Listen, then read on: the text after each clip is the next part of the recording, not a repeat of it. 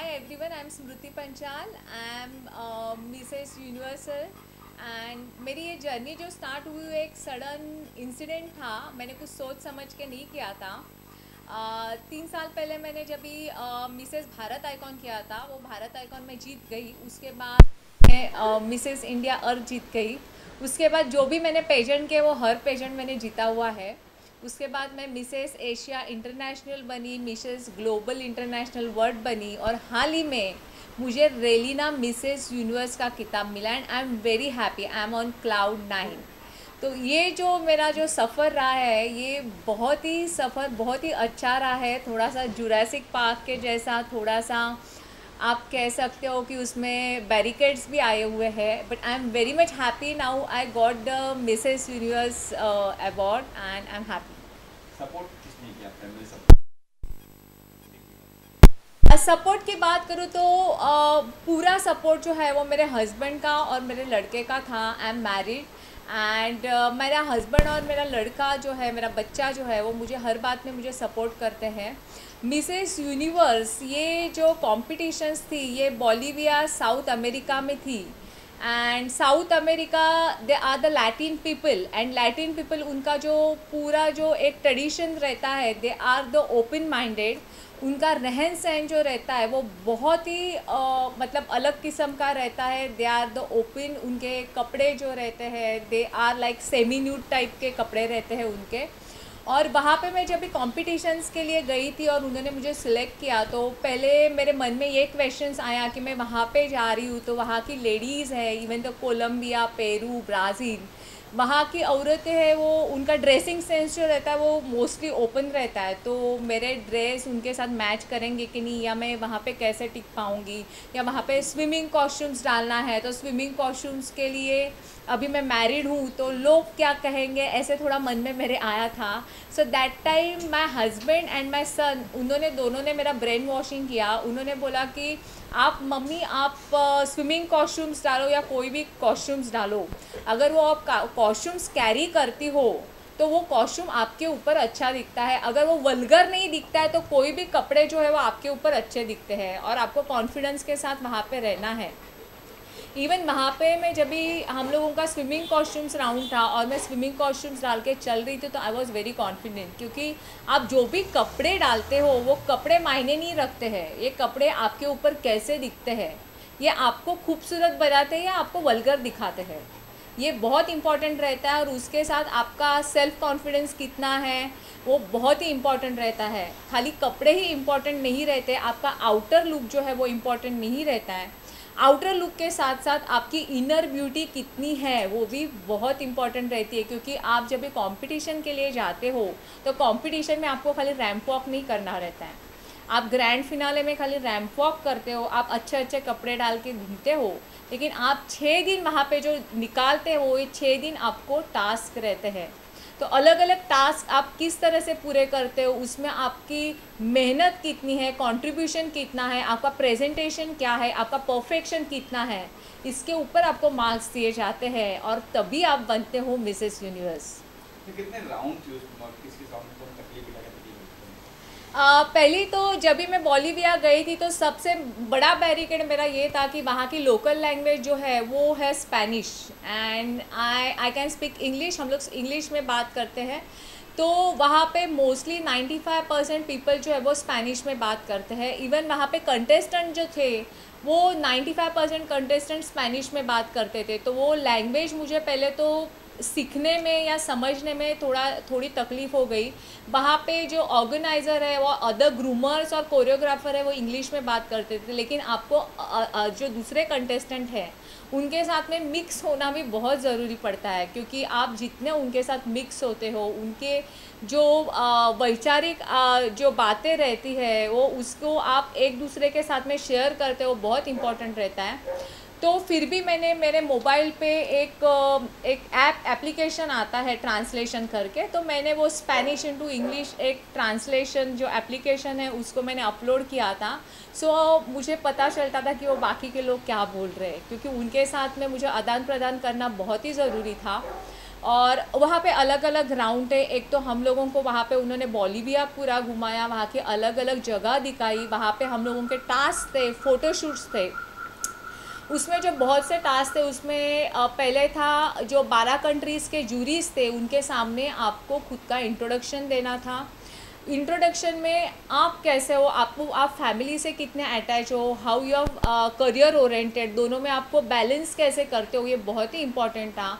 आप सोसाइटी के लिए क्या करते हो? आपको सोशल मैसेज किस तरह से देना है? वो भी बहुत इंपॉर्टेंट था। इसके साथ साथ वहाँ पे टैलेंट राउंड रहता है। टैलेंट राउंड में आपको एक सोशल मैसेज देना रहता है। मैंने जो थीसिस लिखा था वो वुमेन एम्पावरमेंट के उसके ऊपर था और uh, मेरा जो टैलेंट राउंड था वो मेरा एक फ्यूजन डांस था जो माइकल जैक्सन एंड अपना इंडियन जो है ताल उसको मैंने मिक्स किया हुआ था और माइकल जैक्सन के जो वेस्टर्न सॉन्ग है उसके ऊपर मैंने इंडियन क्लासिकल किया था एंड उन्होंने बहुत अप्रिशिएट किया था वो। उसके साथ साथ जो नेशनल कॉस्ट्यूम्स है उसमें मैंने लहंगा चोली और उसके ऊपर जो हम लोग फेटा डालते हैं वो डाल के मैंने हमारा जो नेशनल कॉस्ट्यूम्स है उसको आ, मैंने रिप्रेजेंट किया था। और बहुत से राउंड है उसके साथ में स्विमिंग कॉस्ट्यूम राउंड था और स्विमिंग कॉस्ट्यूम्स के साथ में वहाँ पे गाउन राउंड था। तो ये सब जो राउंड्स थे ये राउंड कंप्लीट करते करते अदर कंटेस्टेंट को भी हम लोगों को मार्क देनी है। यहाँ पे एक स्ट्रैटेजी रहती है कि आप जब भी वहाँ पे जाते हो तो फ्रॉम डे मॉर्निंग सेवन से आपको रात को एक बजे तक टास्क रहते हैं। तो ये आपको टास्क कंप्लीट करने हैं। ये टास्क में आपको तरोताज़ा रहना है। You should be fresh you should be well makeup well dress और आपको रिप्रेजेंट करना रहता है। दिन में पाँच पाँच छः छः बार आपको कपड़े चेंज करने रहते हैं। वहाँ पे टेम्परेचर पाँच डिग्री था, बहुत ठंडी थी। उसमें आपको शॉर्ट ड्रेस डाल के स्विमिंग कॉस्ट्यूम्स डाल के आपको शूट करना है।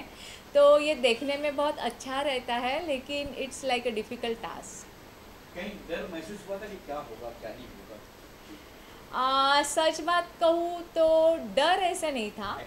एक्साइटमेंट थी। क्योंकि इसके पहले मैंने बहुत पेजेंट जीते हुए थे और मैंने जब मेरे लड़के से बच्चे से बात की थी तो मैंने उसको बोला कि यहाँ पे जो है you know is a Latin culture है और वहाँ पे all ladies they are semi nude तो उसमें मैं जीत पाऊँगी कि नहीं जीत पाऊँगी क्योंकि वो organiser and other people they are saying only the Mrs India she is wearing the full dress क्योंकि हम लोगों का कल्चर ऐसे नहीं होता है। Though I am wearing the you know short pants और लाइक हॉट बम्स फिर भी वो उनके उनके हिसाब से मैंने बहुत कपड़े डाले, ऐसे हो जाता था।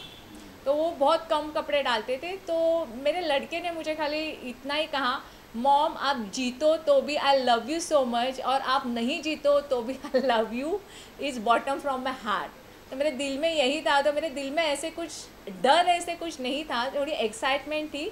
और मैंने भगवान को प्रे तो किया था कि मैंने इस ये कंपटीशन के लिए बहुत मेहनत की हुई है। मेरा प्रेजेंटेशन दिया हुआ है परफेक्शन दिया हुआ है। तो मैं जीत जाऊँ तो आई विल बी हैप्पी और मैं जीत गई। It was like you know is the best moment in my life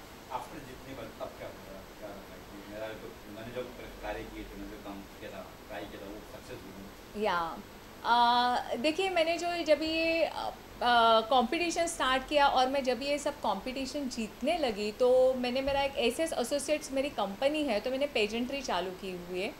तो मैंने यहाँ पे इंडिया में नेशनल लेवल पे मेरे, हमारे पेजेंट्स हैं, वो रहते हैं।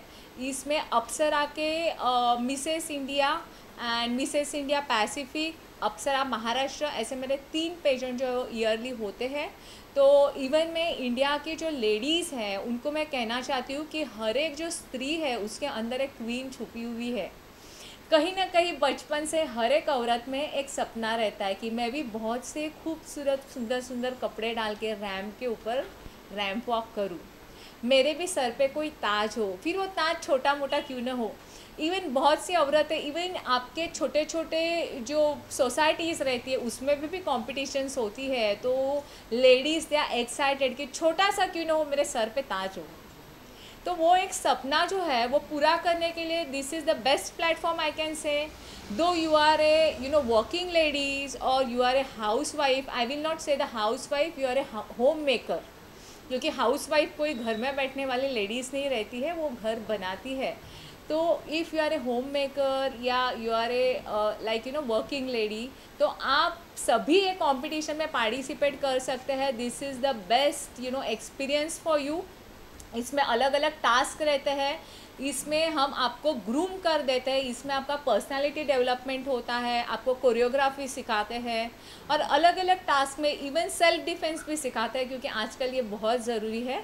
तो इसमें आपको हम लोग पूरे जो गाउन्स है ड्रेस है, सब प्रोवाइड करते हैं मेकअप प्रोवाइड करते हैं। And you are also getting the chance you can walk on ramp you know और आपका जो एक बचपन का सपना है कि मेरे भी सर पे ताज हो तो ये सपना आप पूरा कर सकते हो। अभी जो मेरा, हमारा जो एस एस एसोसिएट अप्सरा का मिस एंड मिसेस इंडिया जो कंपटीशन आ रहा है, ये नाइन जैन को आ रहा है और ये नोवाटल होटल में जूहू में मुंबई में आ रहा है। अगर आप सभी इसमें पार्टिसिपेट करना चाहते हो तो यू आर मोस्ट वेलकम आप हमको कांटेक्ट कर सकते हो। हमारा कांटेक्ट नंबर है nine nine eight seven zero four nine eight double nine